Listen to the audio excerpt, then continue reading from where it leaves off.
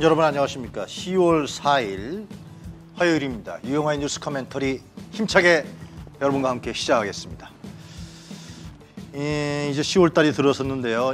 주말 잘 보내셨습니까? 주말에 음, 광화문에서 어, 뿐만이 아니라 전국에서 촛불 집회가 있었죠. 아, 청계광장에서 열린 촛불 집회는 지금까지 8차례 열렸는데요. 총 연인원 4만 가까이가 참석했다고 합니다 갈수록 늘어나고 있습니다. 이 바이든 날리면 사태 이후에 국민들의 분노가 하늘을 찌르는 것 같습니다. 우리 스스로가 창피한 거죠.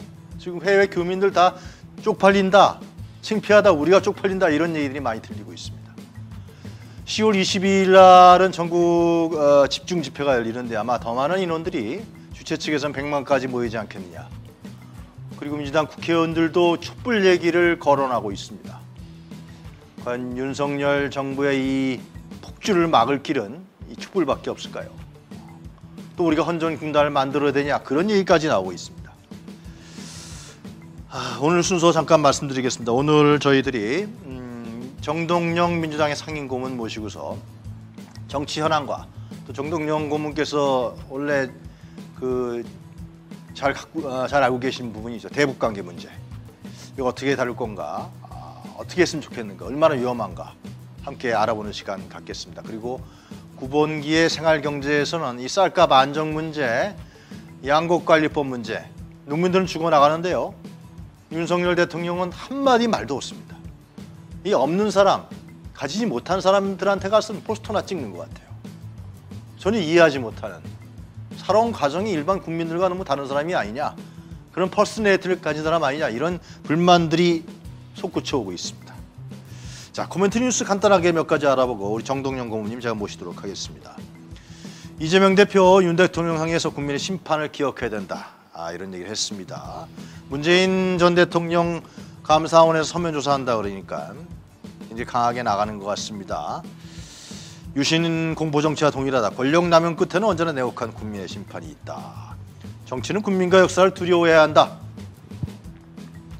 여론이 하도 안 좋으니까 신중한 행보에서 이제는 완전히 분명한 행보로 바뀌는 것 같습니다. 그리고 어제 제가 기사를 봤는데요. 어째 이런 일이 있을 수 있나요? 김대중 생각 하이도 섬 연결하는데 그 박우량 신앙문서라는 분이 전액 국비로 추진된다면 윤석열 대교로 이름 질 수 있다. 야, 참.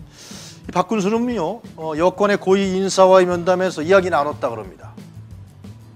김대중 정부에서 고 인사하다가 여권으로 간 사람이에요. 대충 누군지 심장은 갑니다만. 자 반발이 상당한데요. DJ 정신 훼손하는 반역사적 이름의 대교를 지려고 하는 것이 아니냐 이런 얘기가 나오고 있습니다. 아, 오늘부터 국감이 이루어지는데요. 교육이 국감이 기대됐는데 이 김건희 논문 관련해서 국민대 총장, 숙명여대 총장 다 외국으로 나가버렸습니다. 도피성 출장을 삼았습니다. 표절 의혹 검증할 증인들이 모두 불참한다 그러는데요. 지도교수도 강의 일정 불참 통보한다고 합니다. 그런데 말이죠. 전 민주당의 교육위원들 한마디 해야겠어요. 이거 예상했던 거 아닙니까? 당연히 그 대학 총장들이 나오겠어요 국회 예상하고 해야죠. 어, 출장 갔다고 도피성 출장이라고 그래서 얘기만 하면은 이 맹탕 국정감사 교육이 되지 않습니까? 알고 있었을 것 같은데요. 왜 이렇게 또 내버려뒀는지 잘 모르겠습니다. 미리미리 얘기했어야죠. 자, 성남 FC 관련 정진상 실장 후원금이 아니라 광고비다. 광고비 유치한 사실도 없다라고 반박하고 있습니다. 성남 FC 기업 광고비 영업은 성남 FC 직원들이 했다. 정 실장 본인은 성남 FC 서포터즈로서 원정 응원에 동참한 것일 뿐이다. 시민구단의 광고 수익은 구단 운영에 쓰이는 세금의 절감 효과다. 이렇게 반박하고 나섰습니다. 하나만 더 알아볼까요? 해외 매체에서요 윤 대, 윤석열 대통령이 언론 탄압이라고 보도하고 있다고 합니다. 국제 기자연맹 언론에 대한 전형적인 협박이다. 또 디플로맷이라는 외교 전, 문 잡지가 있죠. 여기서는 대통령실과 여당이 한국의 방송을 협박하고 있다. 스레튼이다. 협박하고 있다. 이렇게 얘기했습니다. 그리고 바이든이 아니라 날리면이라는 설명은 문법적으로도 맞지 않다고 합니다. 전국의 한국이 전국의 듣기 평가 테스트가 시작됐다. 자, 이 한국의 대통령이요.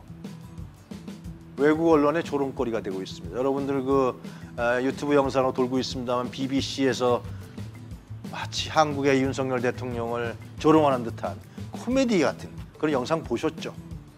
네, 참. 국군의 날 행사에서도 열중쇼 얘기를 못해서 찝찝하는 장면.